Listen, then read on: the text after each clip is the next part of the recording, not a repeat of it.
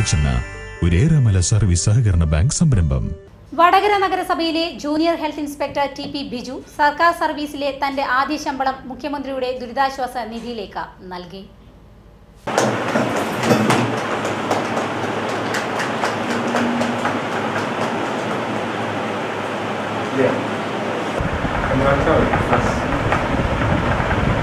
ഞാനിപ്പോൾ സർവീസ് കയറിയിട്ട് ഇപ്പം രണ്ട് മാസമായി. മാസം പൂർത്തിയായ സമയത്ത് തന്നെ മുഖ്യമന്ത്രിയുടെ ദുരിതാശ്വാസ നിധിയിലേക്ക് പണം കൊടുക്കണം എന്നുള്ള നിർദ്ദേശം വരികയും അതിന്റെ അടിസ്ഥാനത്തിൽ സ്വമേധയ ഒരു മാസത്തെ ശമ്പളം കാരണം അത് തിരിച്ചു കിട്ടാത്ത രൂപത്തിൽ ഒരു മാസത്തെ ശമ്പളം പൂർണമായിട്ടും കൊടുക്കണമെന്നുള്ളത് ആലോചിച്ചു ഒരു കാരണമെന്ന് പറയുന്നത് ഇനിയുള്ള കാലങ്ങളിൽ സാധാരണക്കാരുടെയും നികുതി പണം കൊണ്ടും അല്ലെങ്കിൽ മറ്റുള്ള നികുതി പണം കൊണ്ടും ശമ്പളം വാങ്ങിക്കേണ്ട ആളുകളാണ് ഞങ്ങൾ ഓരോരുത്തരും അപ്പം ഇങ്ങനെ ഒരു ആവശ്യം പറഞ്ഞ സമയത്ത് അത് നിരാകരിക്കാൻ സാമൂഹ്യ ബോധമുള്ള ഒരാൾക്ക് കഴിയില്ല. അത്തരത്തിലാണ് എന്ത് ചെയ്യുന്നത്? ഒരു മുഖ്യമന്ത്രിയുടെ ദുരിതാശ്വാസത്തിലേക്ക് എന്റെ ആദ്യത്തെ ശമ്പളം നൽകാൻ ഞാൻ തയ്യാറായത്. കഴിഞ്ഞ മാസമാണ് വടകര നഗരസഭയിൽ ജൂനിയർ ഹെൽത്ത് ഇൻസ്പെക്ടറായി ബിജു ജോലിയിൽ പ്രവേശിച്ചത്. നേരത്തെ വടകര നഗരസഭയിലെ ഹരിയാലി ഹരിത കർമ്മസേനയുടെ പ്രൊജക്ട് മാനേജറായി പ്രവർത്തിച്ചിരുന്നു.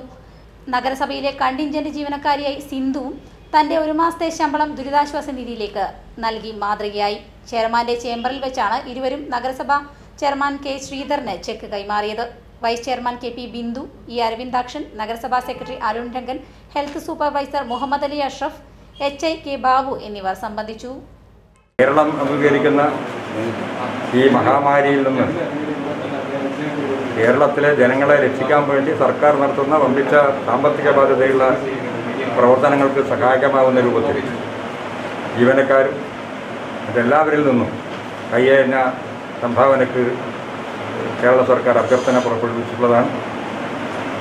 അത് മാനിച്ചുകൊണ്ട് വടകര നഗരസഭയിൽ പബ്ലിക് സർവീസ് കമ്മീഷനിലൂടെ ആദ്യമായി ജോലി ലഭിച്ച ജെ എച്ച് ഐ ബിജു അദ്ദേഹത്തിന്റെ ഒരു മാസം പൂർത്തിയായ ആദ്യത്തെ ശമ്പളമാണ് ഇന്ന് മുഖ്യമന്ത്രിയുടെ ദുരിതാശ്വാസ നിധിയിലേക്ക് നൽകാൻ വേണ്ടി ചെയർമാനെ ഏൽപ്പിച്ചിട്ടുള്ളത്. മറ്റൊന്ന് നഗരസഭയിലെ ജീവനക്കാരി സിന്ധു സിന്ധു അവരുടെ ഒരു മാസത്തെ ശമ്പളം. സാധാരണഗതിയിൽ ജീവനക്കാരുടെ ശമ്പളം ശമ്പളം പിടിക്കുന്നുണ്ട്.